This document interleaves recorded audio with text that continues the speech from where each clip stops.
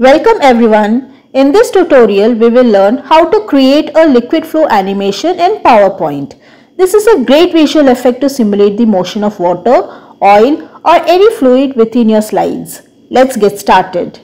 Open a blank slide, right click, go to format background, choose gray color, transparency you can make it to 32 percentage. Now go to shapes tab and select circle hollow.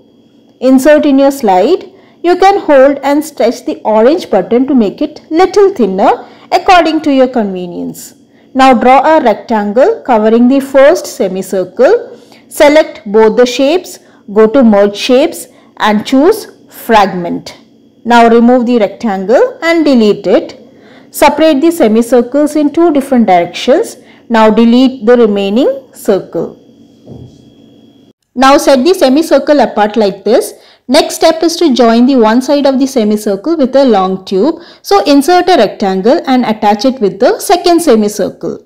Duplicate two rectangles using Ctrl D. Insert one rectangle above and the other one below making an S shape. Now to make it a 3D effect, go to Shapes tab and select Cylinder. Rotate right 90 degree and insert one end of the S shape.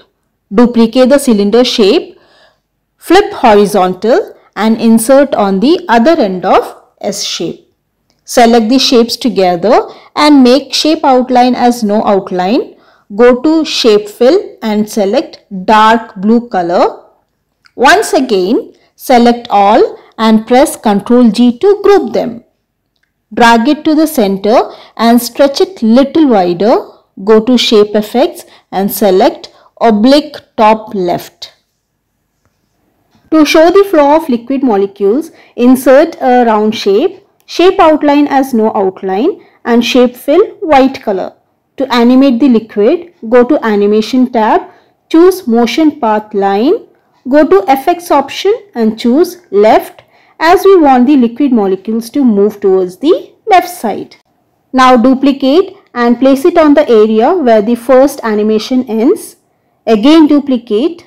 Here we can observe that the path is curved one and we can't use the normal line option.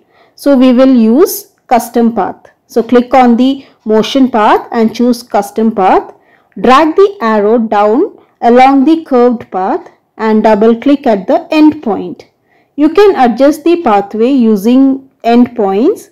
Right click and choose smooth point. Now Duplicate the round shape and choose the line effect towards the right side. In this way, we need to complete the animation process till the end point of S shape. For a continuous loop, go to animation pane, click on the first pane, hold shift key and then click on the last pane. So the whole area will be selected. Now click on the down arrow, set the animation to start with previous and then go to effect option. Make it 0 second for the smooth start and smooth end. Click on timing, duration 1 second and repeat until end of slide. Finally preview your animation and that's it. You have created a simple yet effective liquid flow animation in PowerPoint. Use this technique to enhance science topics, product presentation or anything that benefits from dynamic visuals. If you like this video, please share, like and subscribe. Thank you for watching.